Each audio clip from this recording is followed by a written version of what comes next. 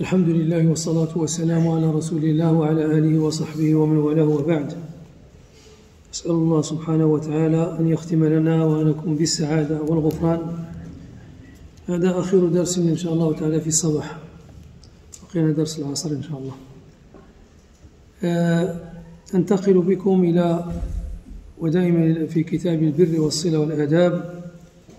يقول الإمام مسلم رحمه الله تعالى باب فضل إزالة الأذى عن الطريق وما أحوجنا إلى ذلك. باب فضل إزالة الأذى عن الطريق. Du mérite d'écarter toute nuisance du chemin.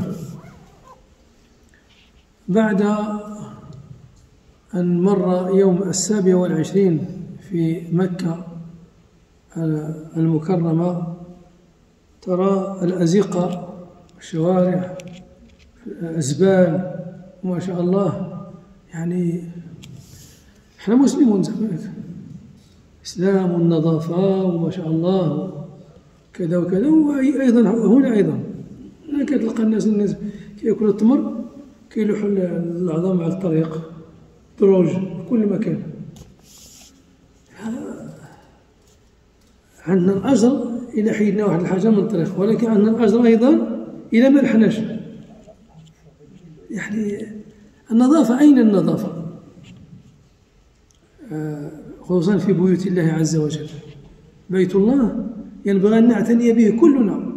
ماشي غير واحد فينا ماشي الناس المسؤولين فقط لا. كلنا. هذا بيت الله ونحن العمال فيه. كلنا خدامين فيه. كنا عندنا ال fiche de paie مع الله عز وجل في هذا البيت هذا. هذا بيت الله عز وجل. ولكن مع الأسف واحد كيقطع الظفر ويلوحو. واحد يخلي القرعه ياخذ آه، قرعه ديال الماء يشرب منها شوية ويخليها شكون غادي ياخذ هذيك؟ من؟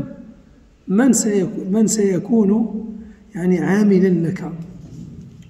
donc il faut là je trouve un petit peu ce ce chapitre-là des mérites d'écarter toute nuisance du chemin et je pense à la mosquée déjà et j'ai pensé à la Mecque il y a quelques 2 3 nuits. La nuit du 27, après que, bon, c'est vrai qu'il y a du monde. Il y a, je ne sais pas, 3 millions, je ne sais pas combien de personnes qui, se trouvent là.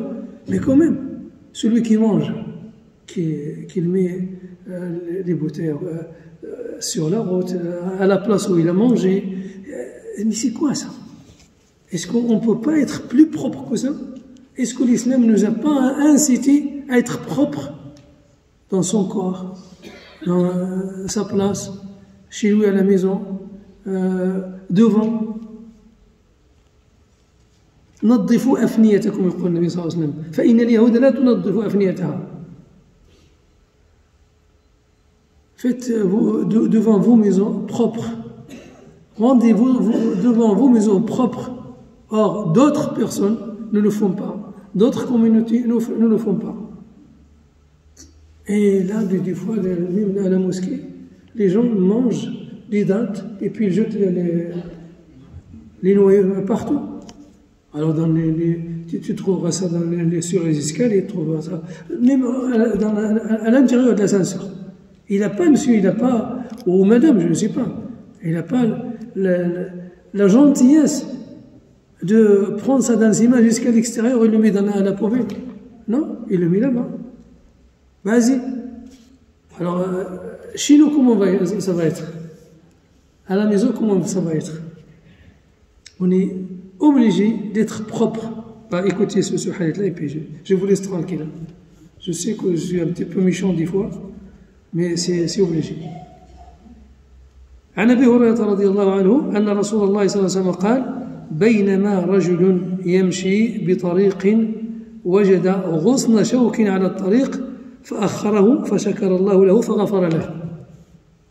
رواية أخرى مر رجل بغصن شجرة على ظهر طريق فقال والله لأنحين هذا عن المسلمين لا يؤذيهم فأدخل الجنة.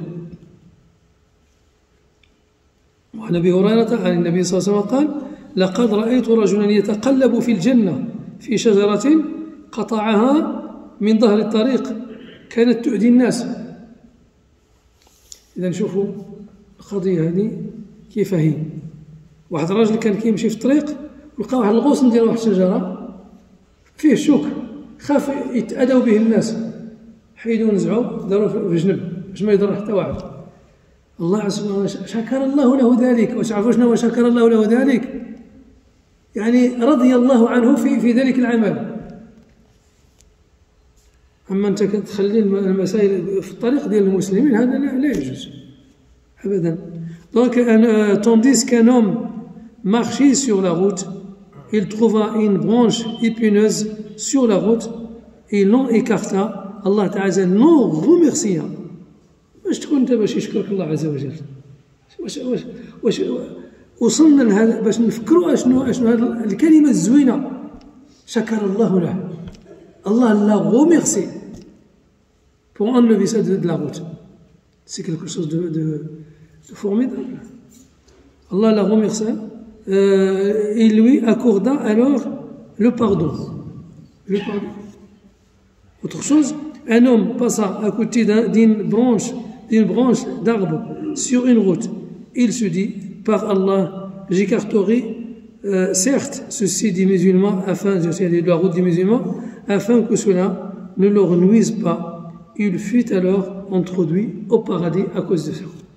الجنة الجنة يا أخو الجنة على والو عرفوا شنو على والو تحيد واحد الحاجة من الطريق tu retires quelque chose tu enlèves quelque chose de la route de, des gens devant chez toi devant un, un, un, un voisin Et tu fais ça, tu auras une récompense. Une récompense, c'est quoi C'est le paradis. C'est la, la, satisfaction d'Allah subhanahu wa ta'ala.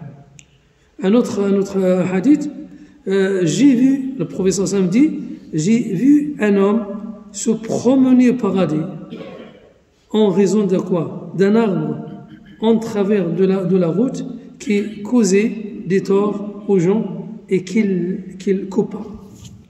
Alors là, aux gens, pas aux musulmans. Pas aux musulmans.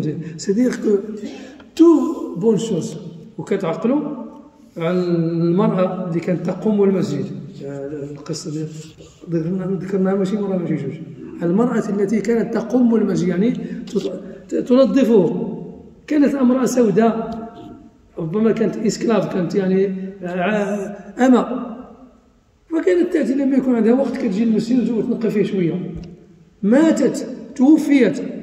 ولم يعلم بها رسول الله صلى الله عليه وسلم une femme esclave qui l'habitude quand il a un petit peu de temps il passe à la mosquée la mosquée du prophète sallallahu alayhi wa sallam il, il nettoie un petit peu, il retire les, les, des, des, petites choses. Parce que avant, la mosquée ici, c'était quoi C'est du sable. Il n'y a pas de tapis, il n'y a rien. Mais aujourd'hui, il y a tapis. Est-ce que tu as la gentillesse de prendre des choses quand tu trouves quelque chose et tu, tu le fais sortir Donc cette femme-là est, est décédée. Et le professeur Sam n'était pas au courant. ما كانش ما عرفوش ما, ما قالوش ليه il n'est il est pas au courant qu'il qu est mort au bout de trois jours ou je ne sais pas combien il demande au professeur Sam il est où la, la femme qui, qui, qui fait un petit peu le nettoyage de, de, de la mosquée Ya Rasulallah il est mort et il dit pourquoi vous m'avez dit معليش ما قلتوهاش ليا يقول يا رسول الله ماتت في الليل فدفناها ولا ولا نريد ان نزعجها il est mort pendant la nuit, donc euh, on a intérêt, on ne veut pas se déranger. Ah, de l'oni à la qabriha. De l'oni à la qabriha. Il est où ça, sa tombe Et ils sont partis avec lui. Et arrivant sur la table, sur la, tombe, euh, il, il leur a dit, mettez-vous derrière moi. Il a fait la prière sur la tombe. Il a fait la prière sur la table. Allahu Akbar, il a fait la prière. C'est quoi à cause de quoi علاش؟ يعني القيمة باش يبين لنا القيمة ديال هذا العمل اللي كانت كدير هذه المرأة في المسجد pour qu'il nous montre la valeur de ce qu'il fait cette dame ici à la, à la mosquée فهذه الأحاديث كلها كتبين لنا أن شي حاجة عظيمة عند الله عز وجل إن شجرة كانت تؤذي المسلمين فجاء رجل فقطعها فدخل الجنة. قلت يا نبي الله علمني شيئا أنتفع به. واحد الرجل جاء النبي صلى الله عليه وسلم قال له علمني شي حاجة ينفعني في الحياة ديالي. Enseigne-moi une chose dont je profiterai il répondait صلى الله عليه وسلم اش قال ليه قال أعزل الأذى عن طريق المسلمين. أعزل الأذى عن طريق المسلمين. حيد داكشي اللي اللي كتشوفو غادي يعني يضر المسلمين في الطريق ديالهم. وملي كتسموا المسلمين الناس كلهم إلى حيدتيه من الطريق اللي كيضر الناس لك الأجر عند الله عز وجل. هذا جاء قال لي قول لي شنو ينفعني؟ شنو الحاجة اللي تنفعني؟ حنا دروك هاد المسائل هذه ما بقيناش كنديوها فيها. دونك il lui dit enseigne-moi d'une chose dont je profiterai répondit quoi?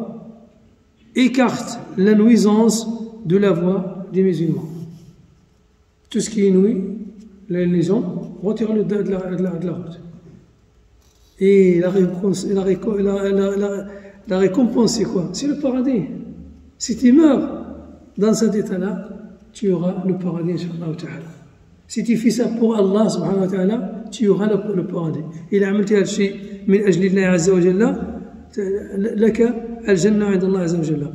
أن أبا برزة آخر شيء حديث إن شاء الله. أن أبا برزة الأسلمي قال قلت لرسول الله صلى الله عليه وسلم يا رسول الله إني لا أدري. لعل لا عسى أن تمضي وأبقى بعدك. ربما تموت أنت ونبقى أنا اش غادي ندير. قول لي اش غادي ندير يا رسول الله؟ فقال فزودني شيئا ينفعني الله به. فقال رسول الله صلى الله عليه وسلم افعل كذا. افعل كذا. قال أبو بكر وأمر الأداء عن الطريق. دير, دير كذا وكذا وحيد الأداء عن الطريق. كل شيء اللي يضر المسلمين حيدوا عن الطريق. هذا آخر يعني ما, ما ننتفع به إن شاء الله تعالى في هذه الليلة الأخيرة من هذا الصباح نقول من هذه هذه الأيام الجميلة الطيبة المباركة التي مرت معنا جميعا donc au message d'Allah c'est l'un des je dis au message d'Allah sallallahu alayhi wa sallam au message d'Allah je ne sais pas il se pourrait que tu t'en ailles c'est-à-dire il va mourir et que je, je te suivrai après. Fournis-moi donc une chose dont Allah me fera profiter. Le messager d'Allah dit Fais ceci, fais cela. Abu Bakr a oublié quoi Et écarte la nuisance de la route. فأرجو الله سبحانه وتعالى أن ينفعنا بما سمعنا وأن يعلمنا ما جهلنا وأن يجعل أعمالنا وأقوالنا وأفعالنا خالصة لوجهه الكريم. إنه سميع مجيب. ونسأل الله سبحانه وتعالى أن يتقبل صيامنا وقيامنا وركوعنا وأن نكون من الذين فازوا بليلة القدر وتقبل منهم ذلك. وأن يبلغنا رمضان المقبل إن شاء الله تعالى ونحن في صحة جيدة. ونسأل الله سبحانه وتعالى أن يغفر لنا ولوالدينا ولأشياخنا ولأحبابنا ولأقاربنا ولجميع المؤمنين والمؤمنات وإلى أن نلتقي بعد العصر إن شاء الله تعالى وصلى الله وسلم وبارك على نبينا محمد وآله وصحبه والحمد لله رب العالمين.